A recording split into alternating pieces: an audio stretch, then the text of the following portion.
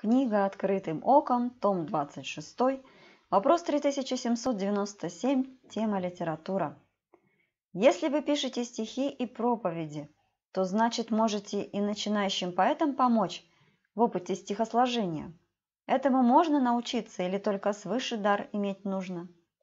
Отвечает Игнатий Тихонович Лапкин. Уж не считаете ли вы, что я поэт? Мне очень претит такое мнение обо мне – ибо я таковым никак не являюсь. Мне очень хочется донести до людей Слово Божие, и иногда через куплеты это удается, и не более того. Никому я помочь не могу, и думаю, что этому можно научиться, но только все будет плоским и трафаретным, как в литературном институте. К слову сказать, нигде в мире нет такого института, как литературный имени Горького – где как бы учат писать стихи, прозу. Когда, изведав трудности учения, мы начинаем складывать слова и понимать, что есть у них значение – вода, огонь, старик, олень, трава. По-детски мы удивлены и рады тому, что буквы созданы не зря, и первые рассказы нам награда за первые страницы букваря. Но часто жизнь бывает к нам сурова – Иному век случается прожить, А он не может значащее слово Из пережитых горестей сложить. Самуил Маршак. Я слышал не раз, что кто-то пытается в позднем возрасте начинать писать стихи или водить автомобиль. Он обязательно сделает аварию. Так что я постоянно под колпаком у инспекции.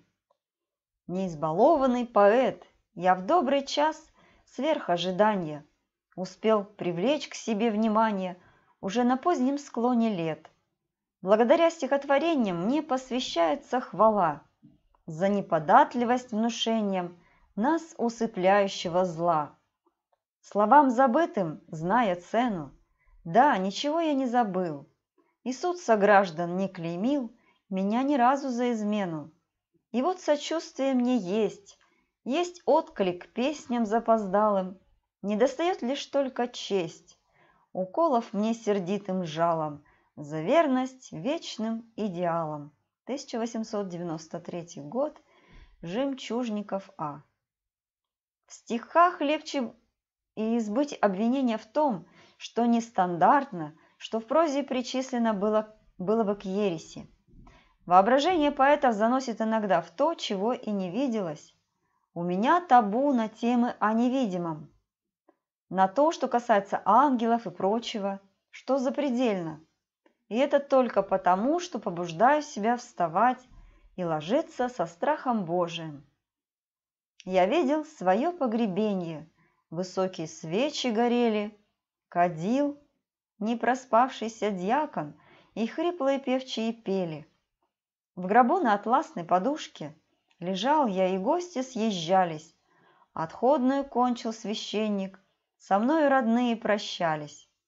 Жена в интересном безумье Мой сморщенный лоб целовала И крепом красиво прикрывшись, Кузену о чем-то шептала. Печальные сестры и братья, Как в нас непонятна природа, Рыдали при радостной встрече С четвертой частью дохода. В раздумье насупивши брови, Стояли мои кредиторы, И были и мутные, и страшны Их дико блуждавшие взоры. За дверью молились лакеи, Прощаясь с потерянным местом, А в кухне объевшийся повар Возился с поднявшимся тестом. Пирог был удачен, зарывший мои безответные кости, Объелись на сытных поминках Родные, лакеи и гости. 1859 год, Случевский. Однажды пришлось мне читать свои стихи и в литературном институте в Москве, где был тогда руководителем поэтического семинара Лев Ашанин. И хотя там было много народа и давали только по одному стиху прочитать, но после прочтения мною одного стиха о цыганском таборе, только что написанном в вагоне поезда, меня попросили тут же прочесть еще стиха три. Реакция зала была очень странная. Лев мне сказал, как будто у нас форточку открыли, и ворвался свежий ветер. Это все только от того, что я плыл в евангельских словесах. Нас всех, собравшихся на общий праздник снова, учила нынче нас евангельское слово своей священной простоте. Не утаится град от зрения людского, стоя на горней высоте. Будь это и для нас возвещено не в суе, заветом будь оно и нам, и мы, великий день здесь братски торжествуя, поставим наш союз на высоту такую – чтоб всем он виден был, всем братским племенам. 1869 Федор Тютчев. Если на мои стихи будут давать комментарии верующие поэты, то это будут целые тома, и тогда все будет иначе в отношении моей деятельности рассмотрено. Жизнь моя все короче, короче, смерть моя все ближе и ближе. Или стал я поэтому зорче – или свет нынче солнечный ярче, но теперь я отчетливо вижу, различаю все четче и четче, как глаза превращаются в очи, как в уста превращаются губы, как в дела превращаются речи.